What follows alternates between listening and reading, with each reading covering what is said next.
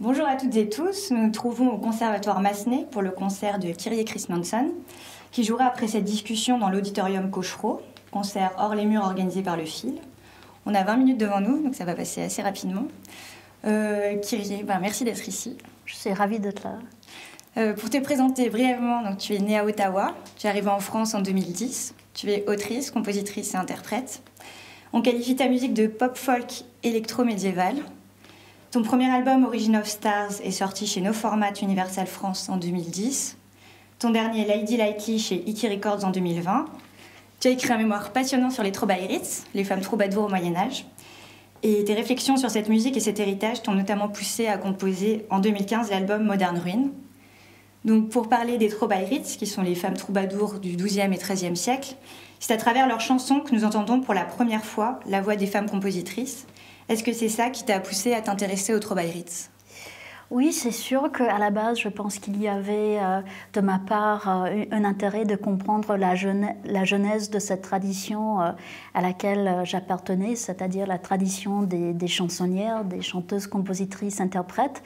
Mais je pense que plus globalement, c'était aussi lié à ma pratique euh, de compositrice, ma façon d'écrire, euh, qui a été toujours marquée par euh, une sorte de double mouvement entre la frustration et la fascination.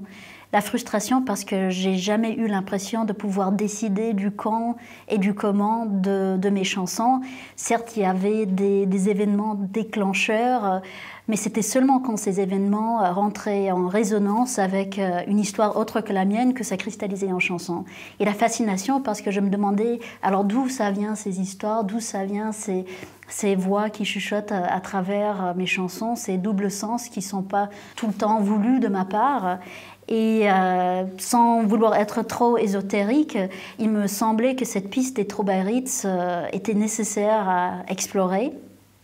En tout cas, ça me plaît énormément euh, l'idée d'être un, maillon dans une chaîne de compositrices qui remonte euh, très très très loin et qui va continuer encore longtemps, euh, j'espère. Oui, alors comment tu as découvert en fait Alors, comment j'ai découvert? Bah, je pense, j'ai toujours, j'ai un père historien, mm. donc ça m'a vraiment donné le goût, le passé, ça me fascine. C'est pas quelque chose pour moi qui est poussiéreux ou désuet. Au contraire, je trouve que, que, le passé euh, et le présent, ce n'est pas une progression linéaire, mais que, que ces choses coexistent. Et donc, j'ai toujours été extrêmement curieuse de comprendre d'où les choses sont venues. Donc, je pense que c'était à travers mes écritures et, et surtout euh, quand j'ai entendu la mélodie, donc la seule mélodie qui a survécu euh, de, la, de, la comtesse dit. Euh, ça m'a extrêmement marqué par la beauté et donc de fil en aiguille, euh, euh, j'ai poursuivi mes recherches jusqu'à ce que m'inscrire à la Sorbonne à Paris après ma tournée d'Origin of Stars pour, pour vraiment concrétiser cette fascination sur voilà, un travail formel de, de, mémoire. Et un passé méconnu en fait aussi. Oui, c'est oui. Enfin moi je connaissais absolument rien avant de lire ton mémoire, c'est vrai qu'on. Oui, je trouve oui c'est connu par disons par un public assez restreint. Euh, aussi du fait que, le corpus qui, nous est parvenu est, maigre. Il n'y a, qu'une chanson qui a survécu avec sa mélodie et ses paroles intactes. Peut-être que je vais la chanter pour vous parce qu'elle est splendide euh, au fur et à mesure de cette entrevue. Mais, mais il y a des textes, sinon il y a des textes mm. qui, ont, qui ont survécu. Oui, c'est ça. Tu parles des influences concrètes que les Troybarites et leur œuvre ont eues sur ta musique. Oui et euh, que l'impact se manifeste dans trois domaines, l'imagination et la fantaisie, les paroles et les thématiques, la reconstruction mélodique. Oui. Donc tu as parlé de la seule euh, chanson où la mélodie nous était parvenue, de la comtesse de Die. Oui. Est-ce que tu peux expliquer cette particularité, comment ton rôle de musicienne a été double en tant que restauratrice et interprète? Oui. C'est-à-dire euh, pour des néophytes, enfin pas, pas du tout, voilà, avec des mots simples parce que oui, les problématiques auxquelles tu as eu affaire. Peut-être que je vais chanter la mélodie, parce que voilà, ça, tout, tout part de ça. Donc ça, c'est la seule mélodie qui, euh, des Trobairites qui, qui nous reste.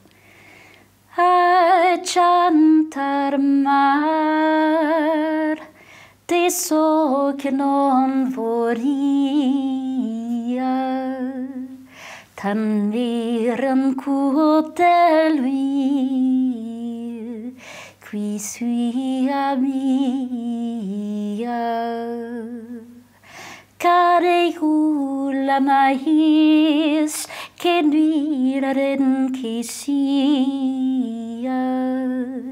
Faslinum val merces mi cortesia.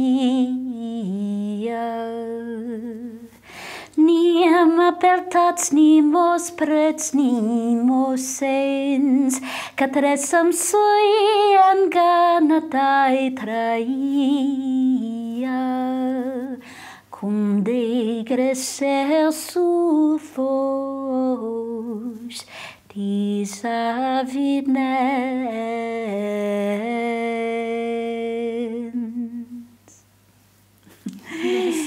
Donc, je, tiens à m'excuser auprès des gens euh, qui parlent l'occitan, euh, parce que c'était ça la langue. C'est évidemment pas ma langue maternelle. Je suis anglophone, donc euh, je la chante comme je peux.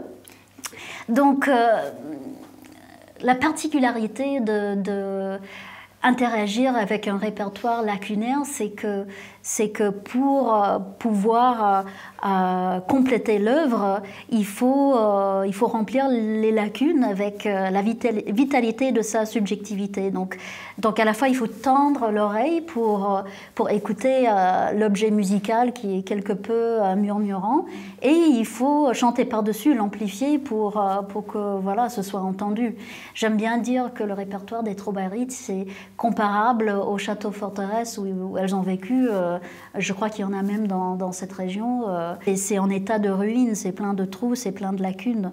Donc euh, mon rôle n'était pas un rôle de restauratrice vraiment. Quand, quand j'ai interagi avec ces mélodies, il y a des chanteuses qui font ça magnifiquement bien, comme Montserrat Figueras, où vraiment c'est une euh, reconstruction euh, historique, euh, archéologique de l'objet.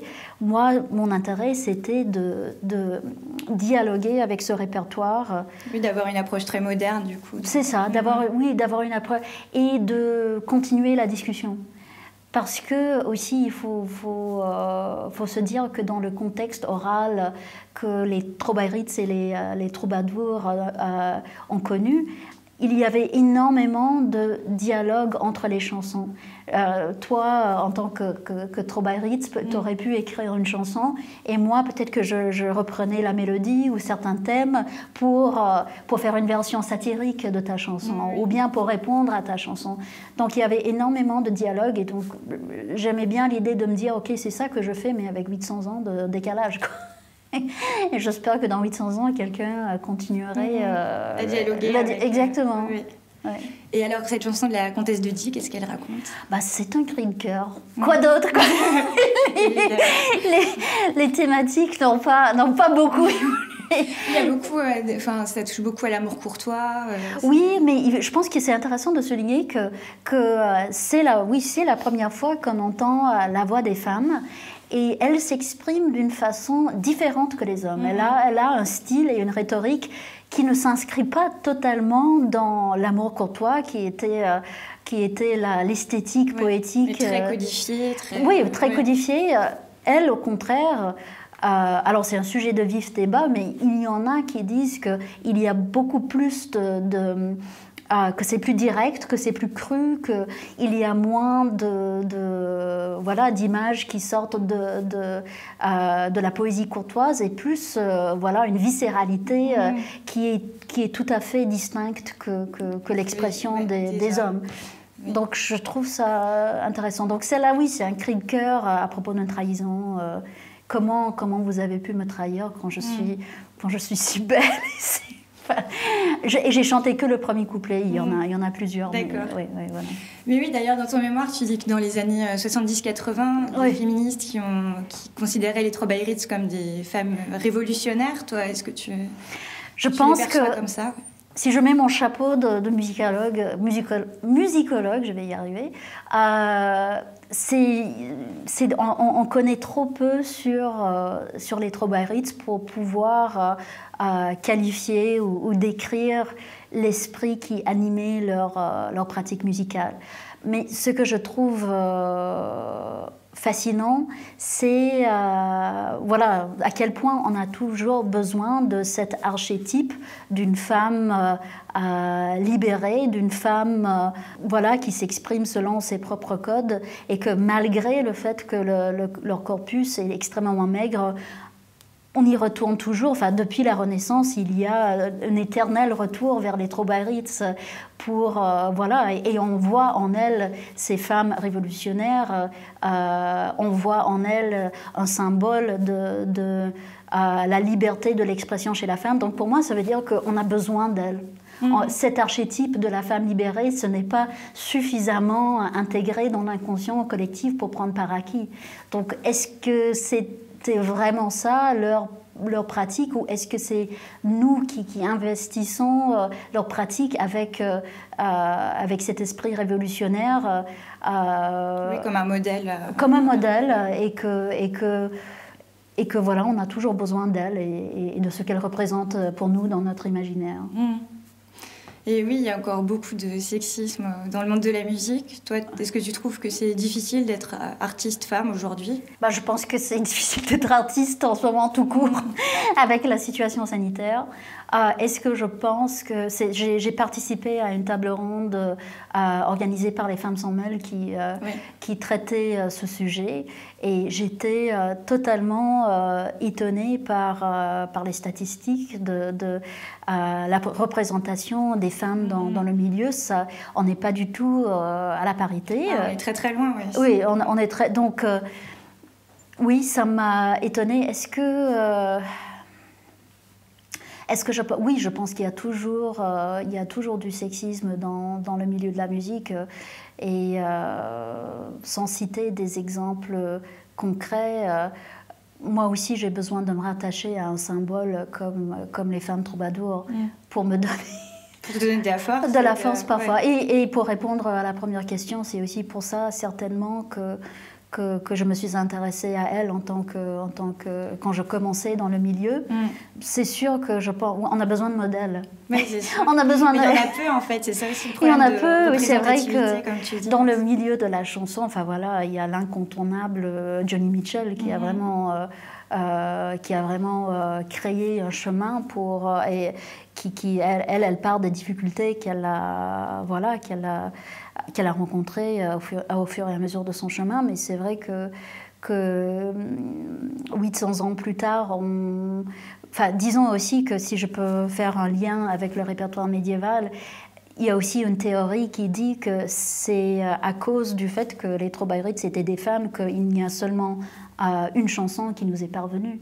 C'est-à-dire que dans une tradition orale, mm-hmm. il faut que la chanson voyage, quoi. Il faut qu'elle soit interprétée, performée, il faut, il faut qu'elle soit entendue pour pouvoir euh, rentrer dans, la mémoire collective et pour être euh, couchée plus tard euh, dans un manuscrit par un scribe qui est le, lien entre la tradition orale et la tradition écrite.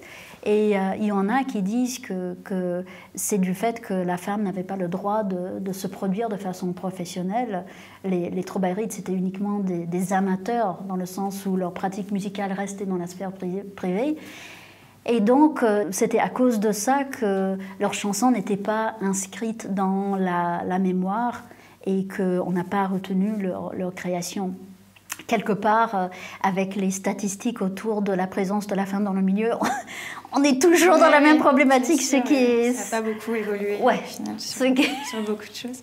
oui, je voulais citer aussi, euh, quelque chose que tu as dit par rapport à ta chanson Mon héroïne. Tu expliques que tu es hantée par la multiplicité de femmes venues avant toi que tu sens leur colère, leur tristesse, leur passion, leur désir, leurs sentiments. Je trouvais ça.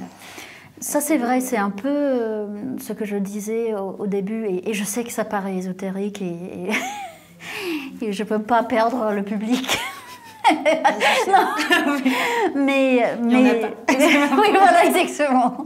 On est toutes seules ici. Donc, euh, euh, non, c'est vrai que c'est ce que je disais, enfin plusieurs choses. C'est ce que je disais au début par rapport euh, à ma façon d'écrire, c'est vrai qu'il y a une part de frustration parce que j'ai jamais l'impression de pouvoir euh, décider de, quand j'écris une chanson.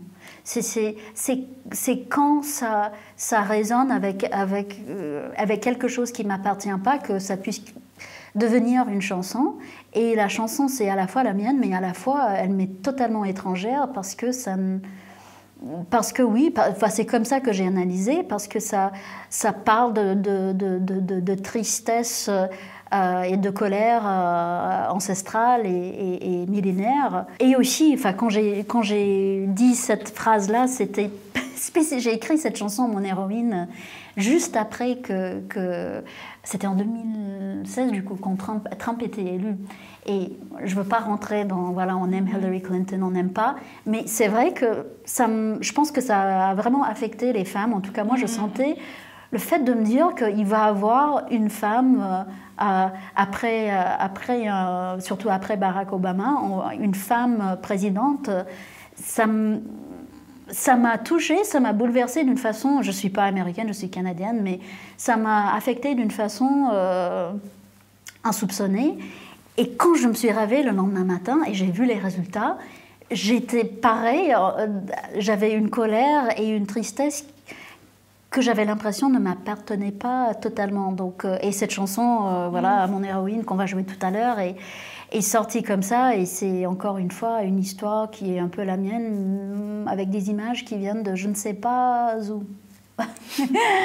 Comme si tu étais une sorte de médium, en fait, quand tu dis que tu ne sais pas exactement quand. Oui, alors j'ai déjà essayé, de, quand j'essaie de, de, m'asseoir pour euh, écrire une chanson comme ça et que j'ai pas cette, euh, cette, euh, cette inspiration qui, qui, vient d'ailleurs, je, je supporte pas la chanson. Je peux pas, je peux pas travailler comme ça. Mm. Donc, donc je suis, je suis voilà, en attente de, de de ces voix-là, de, de, ces émotions-là.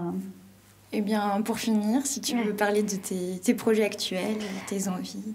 Alors, alors je, suis, euh, je suis engagée dans un processus en ce moment que j'ai commencé lors du premier confinement. Lors du premier confinement, j'avais le virus.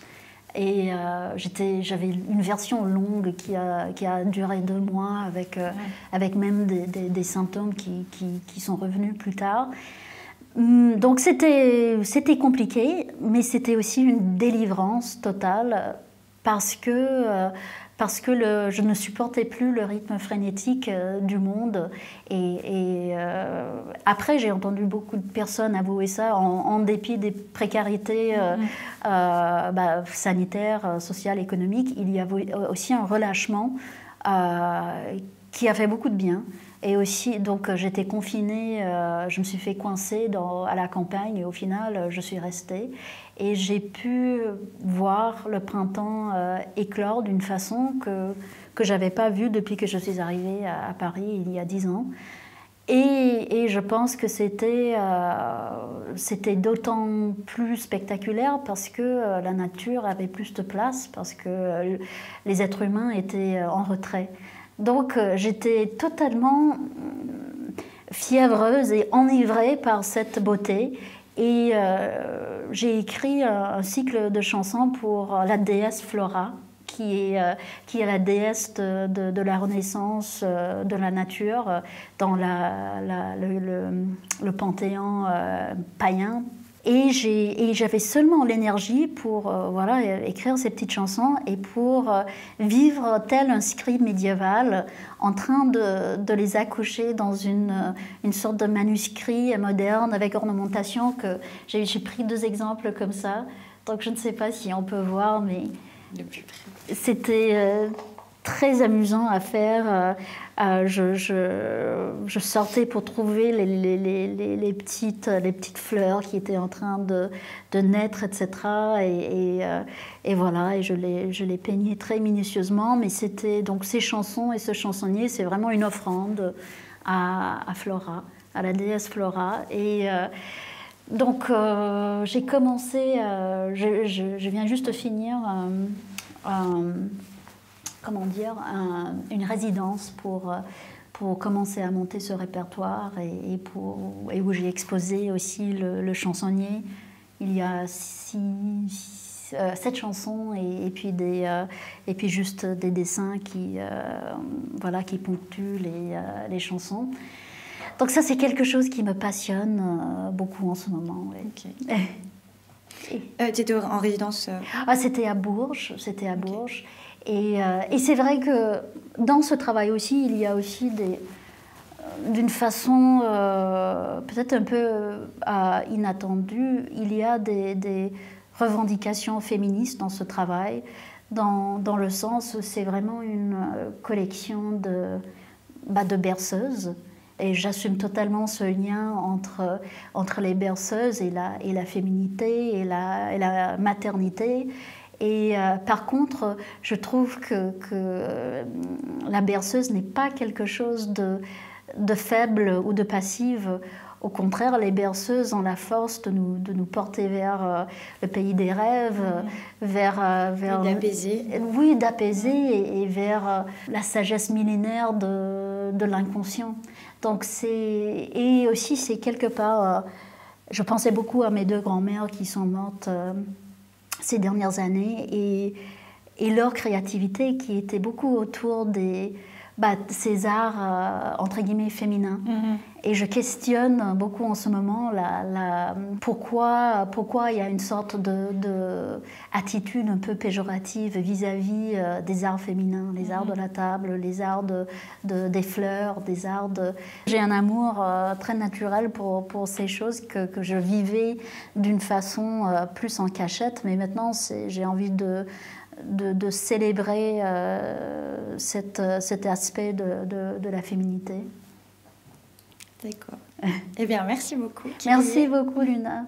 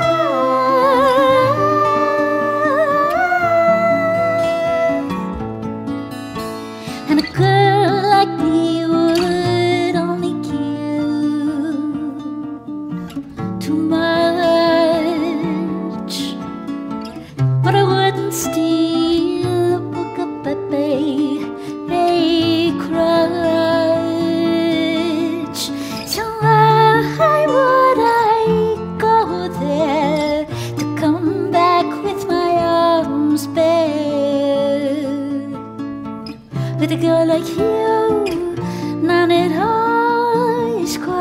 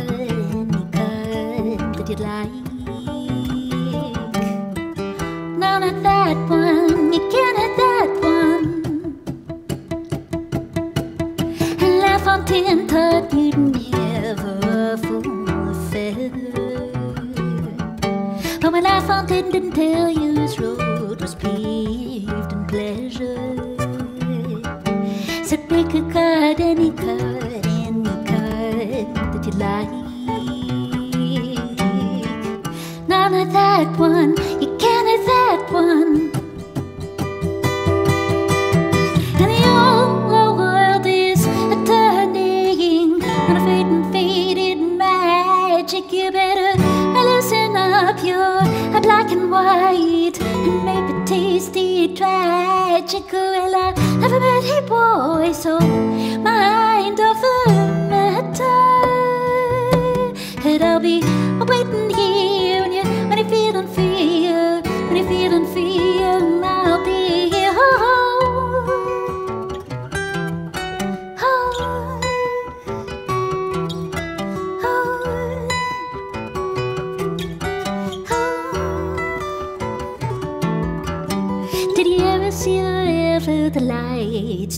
Isso sim.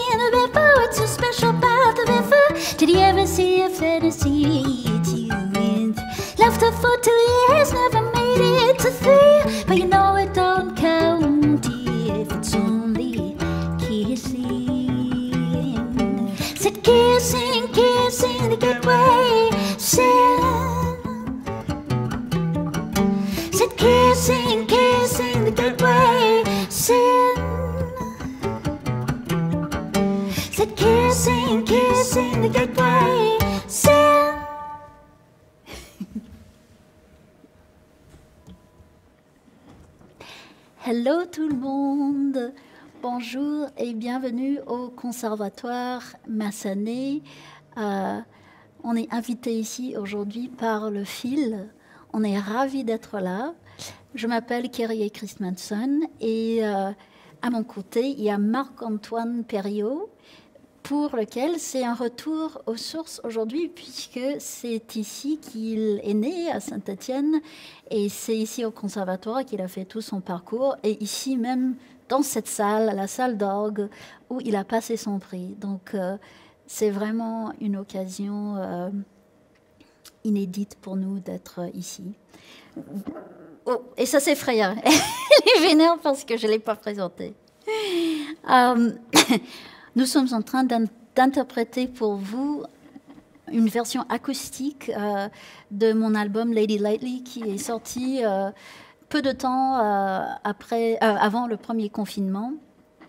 C'est un album qui est inspiré par la physique quantique et plus précisément la théorie des mondes parallèles qui décrit comment notre réalité sera déclinée d'innombrables façons à travers une multitude d'univers parallèles. Et on s'est posé la question à quoi ça pourrait ressembler une tradition musicale qui émane d'un univers parallèle. Et pour nous aider à décrire cette musique, j'ai invité une de mes musiciennes préférées, Mieko Miyazaki Okoto. J'espère que vous êtes cosy, cosy chez vous, parce qu'on est cosy ici. Donc, euh, Mettez-vous à l'aise.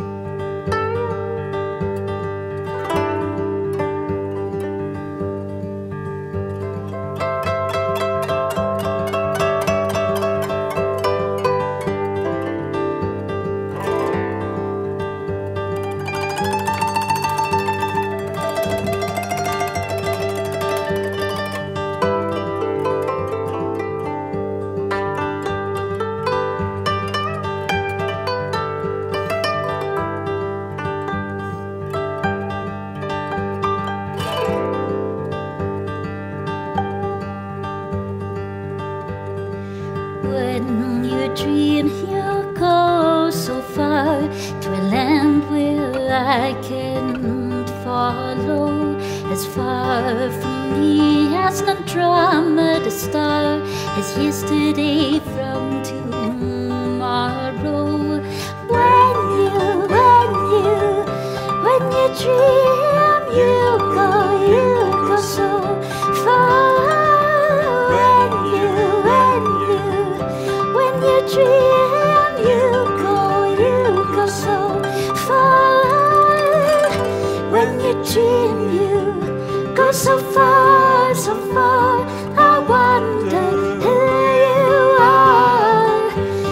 golden statue. Forgotten sorrow is far from me. Is that I'm drawn the stars?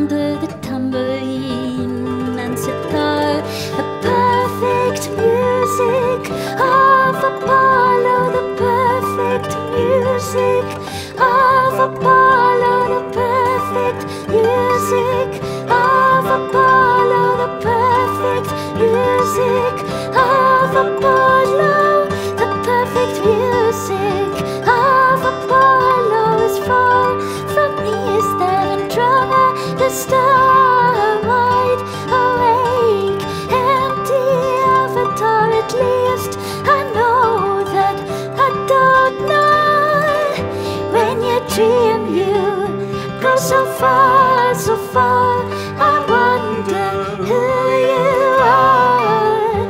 Ancient statue, forgotten sorrows fall. For me, is that Andromeda, the star?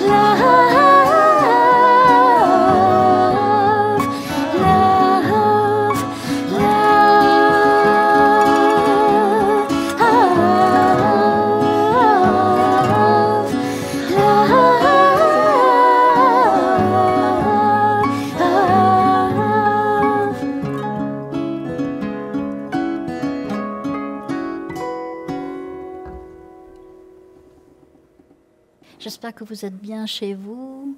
Peut-être que c'est l'heure de l'apéro. Vous êtes détendu. Maintenant, on va jouer pour vous. J'avais envie de jouer quelques nouveaux morceaux. C'est un cycle de chansons que j'ai commencé à écrire lors du premier confinement. J'avais le, virus, une forme très longue. Ça a duré deux mois.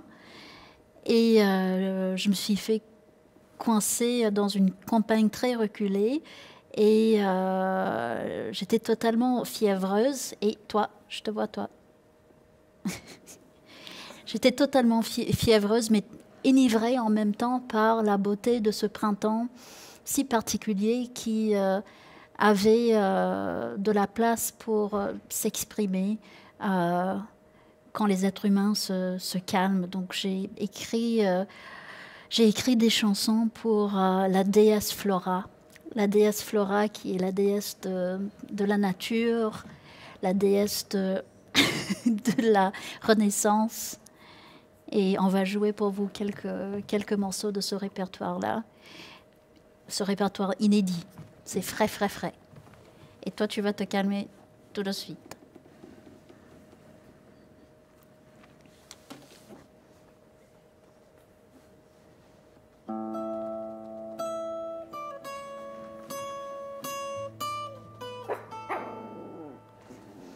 T'as fini?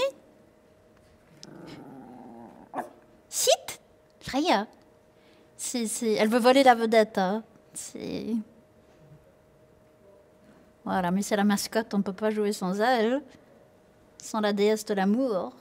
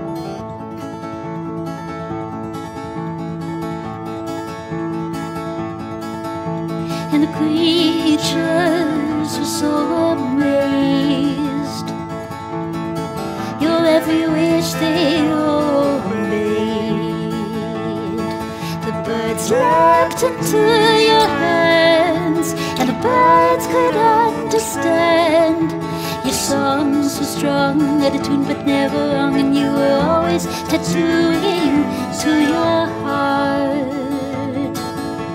Every person every minute left its mark and that life's that worked but it often hurt. Though you wanted more and more you found you had to shut the door of your heart, heart. Oh,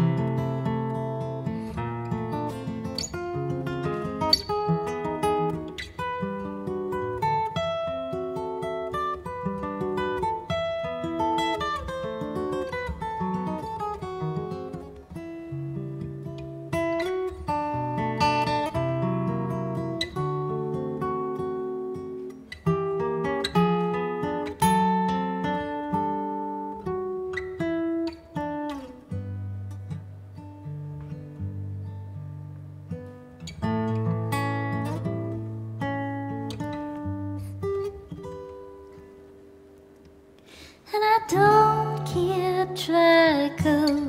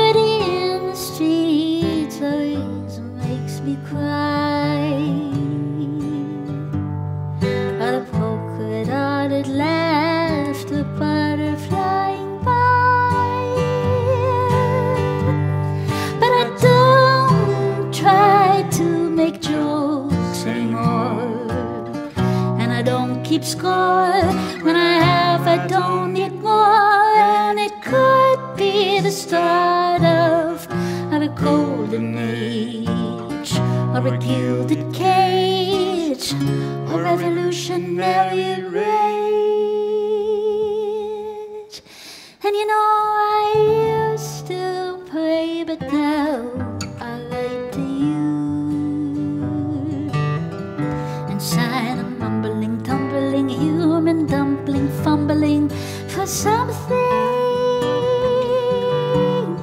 In the pocket of my life, there's that loose change of a childhood tossed and lost and freedom won at such a cost. But I don't want to be free anymore. And I don't keep score. When I have, I don't need more. And it could be the start of, of a golden age or a gilded cage or revolutionary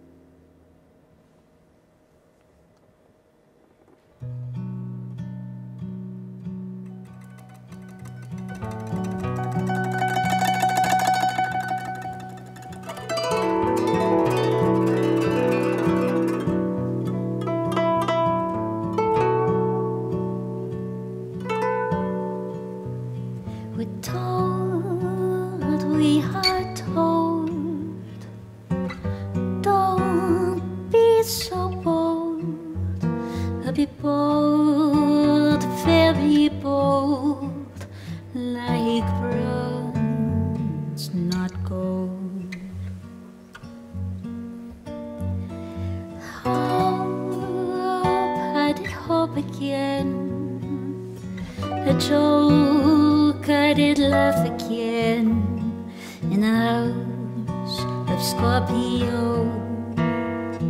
I tried and was tricked again.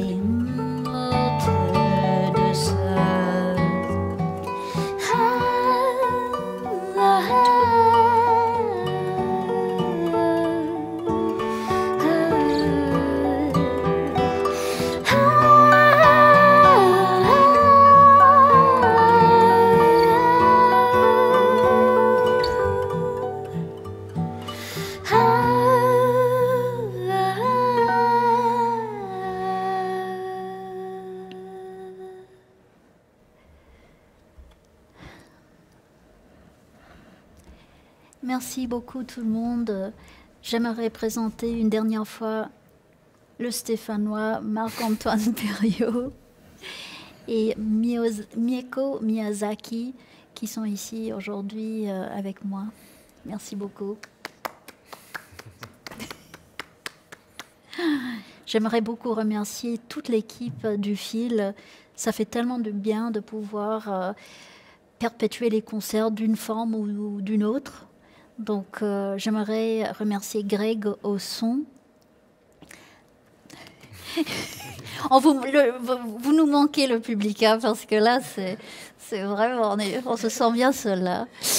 Il y a Nicolas qui a fait la réalisation, il y a Sébastien qui a fait les lumières, et euh, il y a toute l'équipe. Euh, euh, J'ai pas eu le temps d'apprendre les noms de tout le monde, mais j'aimerais vous remercier au fond, du fond de mon cœur pour ce moment d'intimité, dans un moment qui n'est pas trop propice euh, à l'intimité. Merci beaucoup. Tu t'es accordé déjà? D'accord, ah oui, vas-y.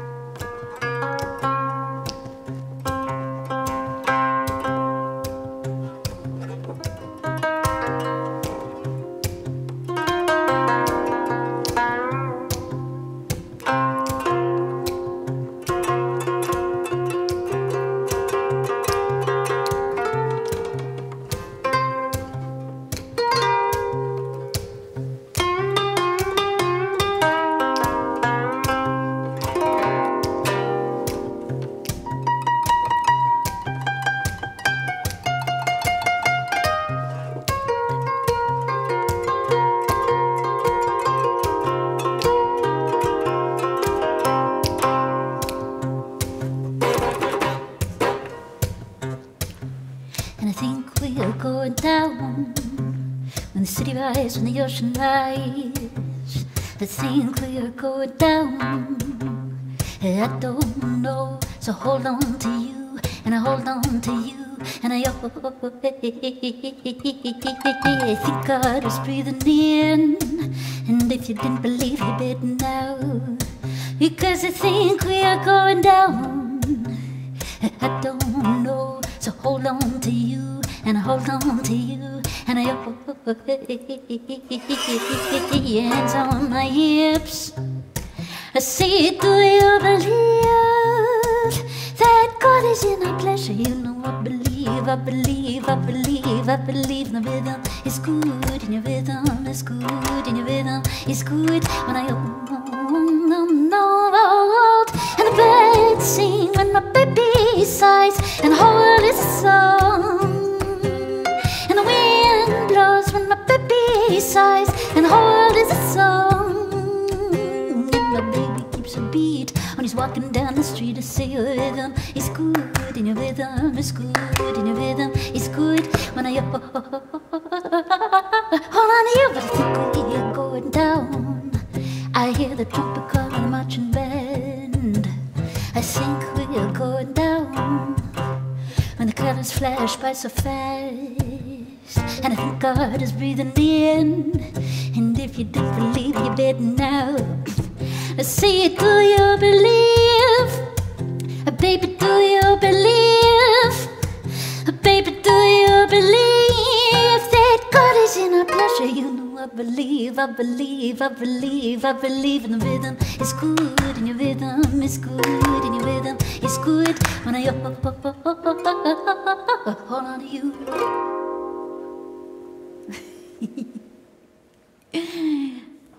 Bravo, meu filho.